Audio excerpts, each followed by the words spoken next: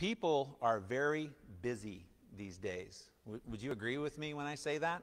Uh, we Americans are so consumed with making a living, nurturing our families, and pursuing our dreams during the week that our batteries are totally drained come the weekend.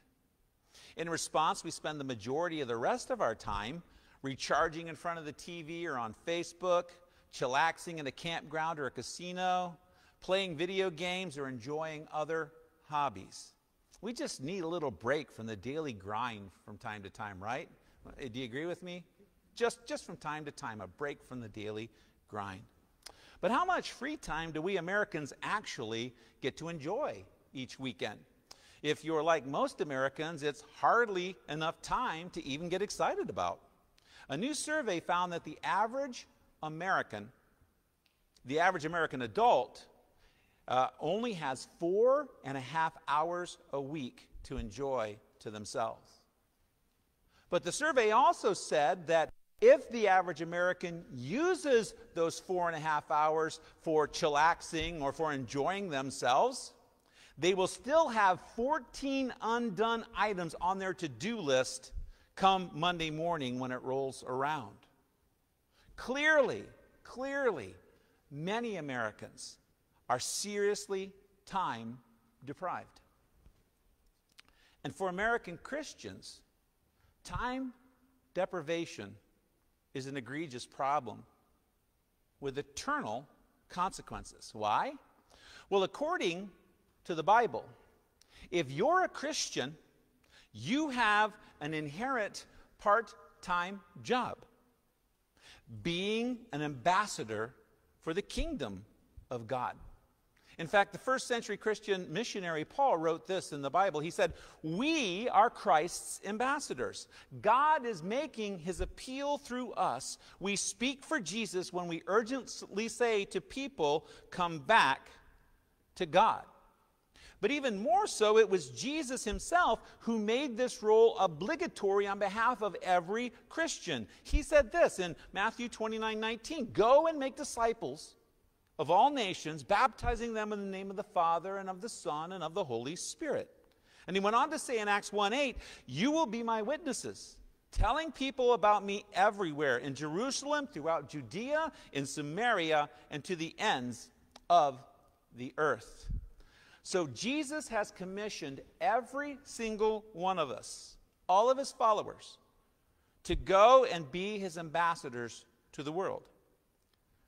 But if we can't even use our four and a half hours without falling behind on our to do list, how in heaven's name are we ever going to manage a little extra time to work on the mission of Jesus, to help people discover, trust, and follow Jesus? This, my friends, is a serious problem. And if we don't do our job, souls will be lost. The consequences are eternal. And by the way, this is a problem that we all share. Several months ago, I was on my way to a church related appointment, and I was running just barely on time as usual. And on the way, I saw a man, and I thought to myself that maybe the Lord was compelling me to stop and engage him. But COVID had just come on the scene, and I had already had an appointment in my book. And so I just kept going. I literally ignored Jesus that day. Oh, I could claim that I was being a good pastor, keeping my pastor made appointment. But I was a terrible ambassador to the kingdom of God because I let time get in my way. You know, I believe from my position as a pastor that allowing time to get in the way of the mission of Jesus is one of Satan's most effective countermeasures in the 21st century. If we, the church, are too busy doing life and don't have enough time or money or whatever it is to help the poor and share the good news about Jesus to unbelieving people, the mission clearly suffers. And for us at Discovery Fellowship, A church whose mission statement demands that we help people discover, trust, and follow Jesus. Well, that, my friends, is a very serious problem. But it gets even more complicated than that. Did you know that together, all of us together, are the body of Christ? Did you know that together we, Jesus followers, each and every one of us, are his body, his hands and his feet? Now, this is a heavenly mystery, but it is, it's, it's something that all true believers must know, understand, and accept. The church, you and I, we are the body of Christ. Paul wrote about it in Ephesians chapter 5. Listen to what he said. He said, We are members of Christ's body. This is a great mystery, but it is an illustration of the way Jesus and the church are one. We are one with Jesus. We are the body of Christ. Okay, I'm going to say it one more time. We are the church the body of Christ. Apparently, while Jesus is away in heaven, waiting for God to give him the go ahead to come back and take us to be where he is, we are called to do the work of building his kingdom here in Jesus' place, in Jesus' name. Just as though we were Jesus himself. Listen again to these words from the Bible from 2 Corinthians 5:20. Paul is speaking here. He said, "We are Christ's ambassadors. God is making his appeal through us. We speak for Jesus when we urgently say to people, come back to God." So, we're not just ambassadors for Jesus. Yeah, we speak for him, but we're also his hands and his feet, his arms and his legs, his mouth and his voice. We are collectively called to do the mission of Jesus so I want you to know this first and foremost today. And if you turn to your notes, you'll find this first fill in the blank. Number one, I want you to know that true Jesus followers build his kingdom here on earth. The word build is your fill in the blank. True Jesus followers build his kingdom here on earth. We help people discover, trust, and follow Jesus. And you can call it a hobby, you can call it a part time job, you can call it a lifestyle, you can call it a calling, you can call it whatever you want. The mission of Jesus is our God given responsibility. but I also want to recognize this. Most American Christians in the 21st century don't have time to do it. You've only got four and a half hours a week. and if you use those up on yourself, then your to do list continues to stack up and you enter into Monday already behind. That's just a fact. Most American Christians are so time deprived that they struggle sometimes during the week just to make it to church, let alone go volunteer to help the hungry one hour a week or even half an hour a week at the local food pantry. and I'm not being negative or condescending here. Remember, I do the same thing too. But I'm just trying to be real. Why? So we can own up to the problem and fix the problem.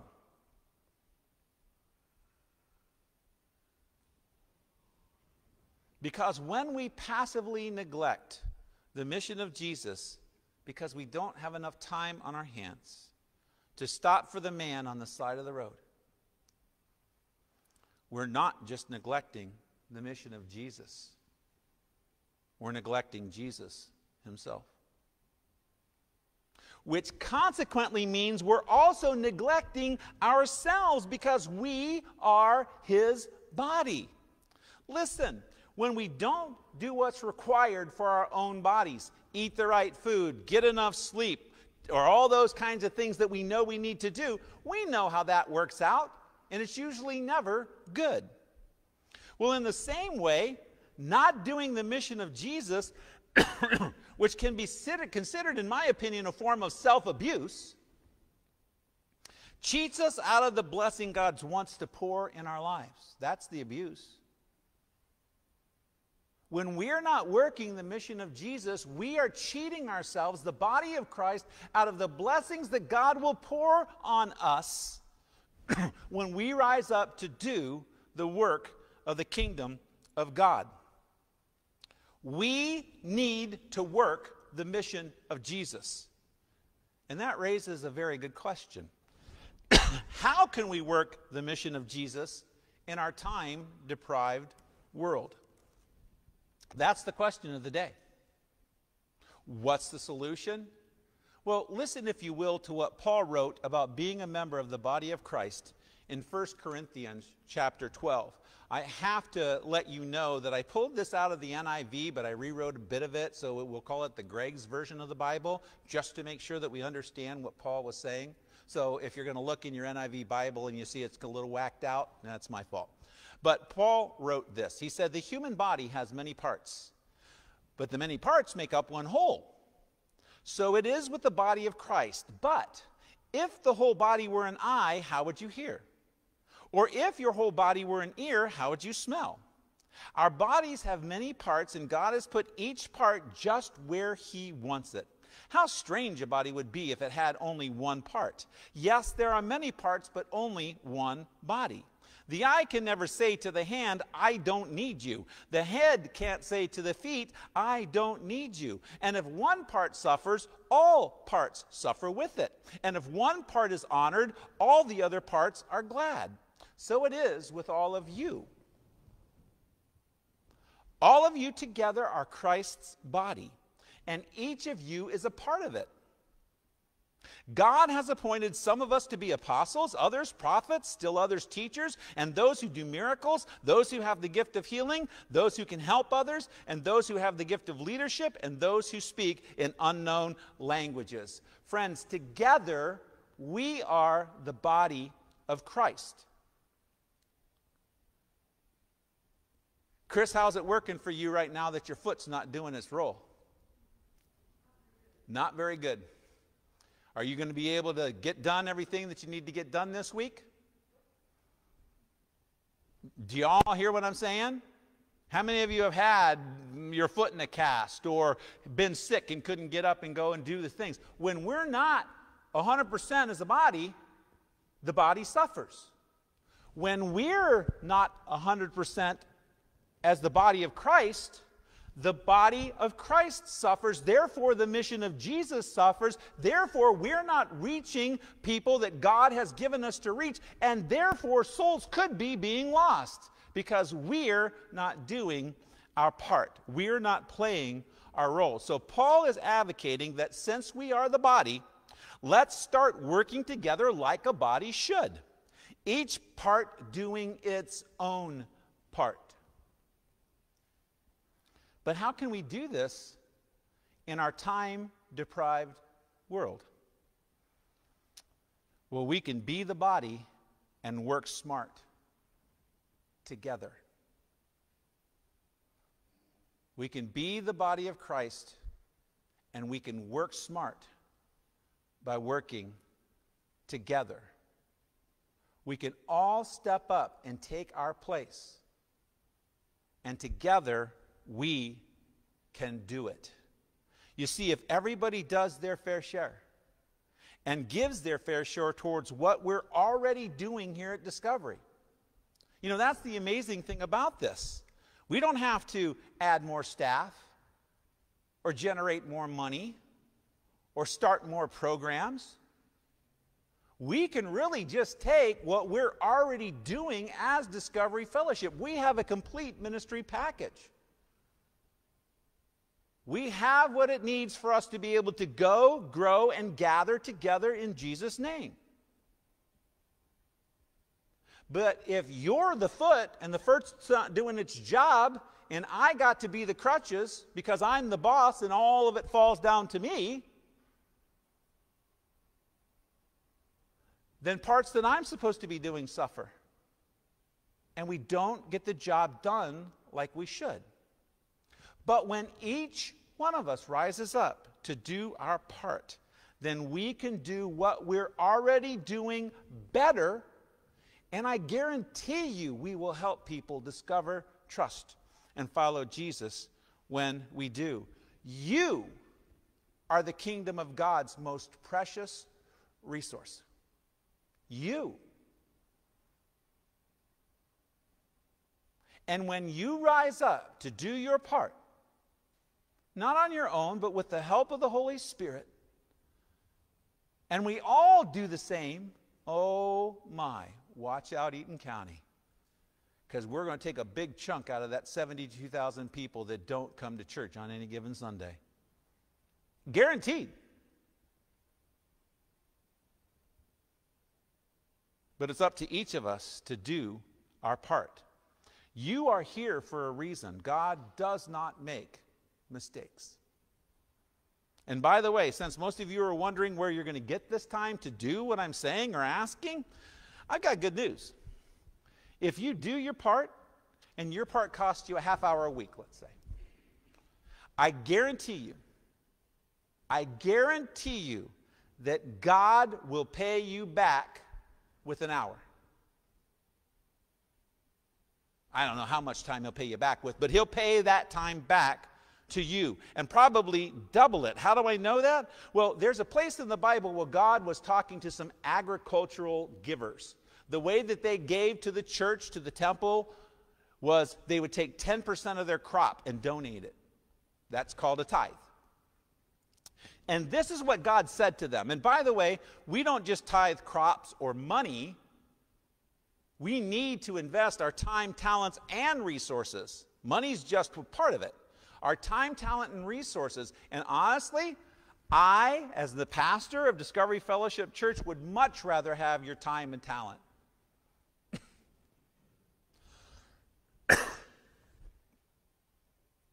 But this is what God said to these agricultural givers. He said, Bring all the tithes into the storehouse so there will be enough food in my temple. If you do, says the Lord of heaven's armies, I will open the windows of heaven for you. I will pour out a blessing on you so great that you won't have enough room to take it in.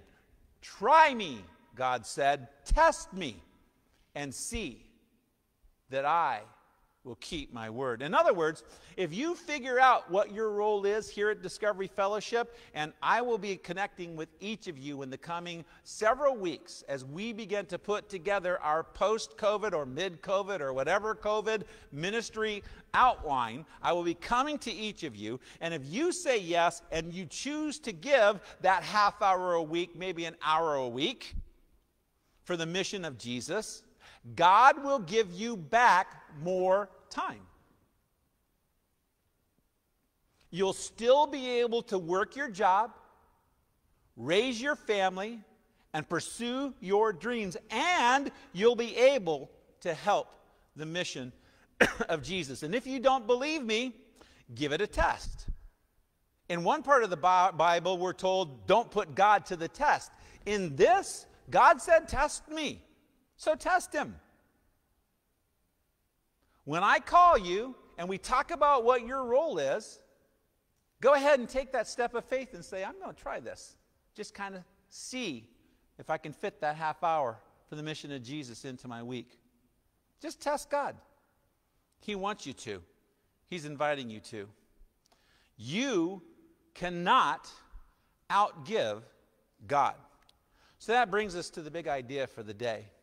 When we discover our role in the body of Christ, and then do our part consistently and regularly, our church will do a much better job of helping people discover, trust, and follow Jesus. Does that make sense? Okay, that wasn't the response I was looking for. Does that make sense? It's hard. A lot of you are going, I don't know how I'm going to do this. But you can we can, together, as the body of Christ. Listen, friends, God needs you. And He is inviting you to be one of His ambassadors to the world by discovering your role in the body of Christ. And then just do it and let Him take care of the rest. To help you on the way to that, I've got a couple of next steps for you. First one, as always, is to take this week's Bible verses. They're down at the bottom of your notes, and just read them this week. Cup of coffee, you, the Holy Spirit, just a little time, and just go through those again and let God speak to your heart His way, the message that He wants you to get out of this. Number two, read 1 Corinthians 12, 12 through 31. That's where he's talking about the body of Christ. Paul is talking about the body of Christ. Read that, if you would, every day this coming week. Number three, would you choose to pray about discovering your role here at Discovery? Would you just start praying about it? God, don't have lots of time. I work at night, sleep during the day. How's that all going to work? Just start praying about it. Just start asking God to help you start figuring this out and be willing to at least give it a shot. And then finally, number four, pray about helping more at Discovery Fellowship. Once you kind of feel comfortable with stepping forward, we need you to really step up here. There's a lot of work to do. And, and, and I'm okay with you going and spending time volunteering somewhere else. We support most of the ministries in our town uh, that, that many of you go to and support. But we need you here. More than just for an hour on Sunday morning, more than just an hour during a Bible study midweek. We need your time commitment to the mission of Jesus. And when we all rise up, we can be the body of Christ and make a huge difference in our community. Well, guys, that's my talk for the day. Thanks for listening, and I hope that your next steps will be blessed and productive this week as you discover, trust, and follow Jesus more and more. Uh, let's make our time together, this time together, let's make this day our ultimate labor day as we discover the real purpose that we have here on this earth and what our true job and labor is. It is helping Jesus help people know God and come to Him through faith in Jesus Christ. Let's pray. Father, we are the body of Christ, and we confess that our hands and feet haven't been moving like they should concerning the mission of Jesus. Help us here at Discovery and at churches around the world to work smarter together as the body of Christ so we can bring light into this darkness and win souls for you. Father, we are the church. We are the hope on earth. So help us build your kingdom here to the praise of your glorious grace. And in Jesus' name we pray. Amen.